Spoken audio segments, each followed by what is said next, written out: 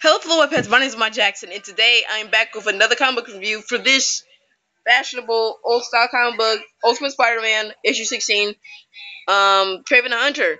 And um, yeah, I kept this comic book for the last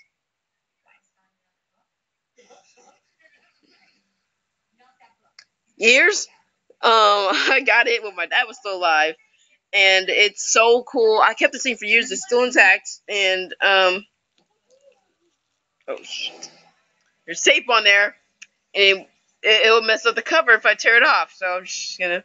Yeah, but this comic book is so old style looking. You see the tape up there. I, I, I put it I put it on my wall, so that's why I have tape on it.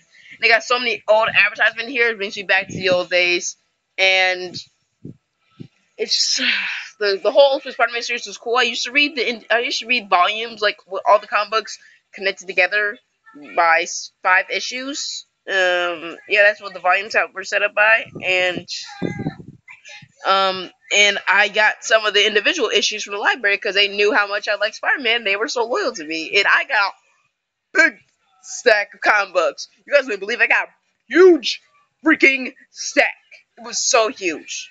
So yeah, that's all I gotta say now. Webheads, if you like this video, hit that like button. If you enjoy my content, hit that subscribe button. I will see you webheads later. So, Perusa.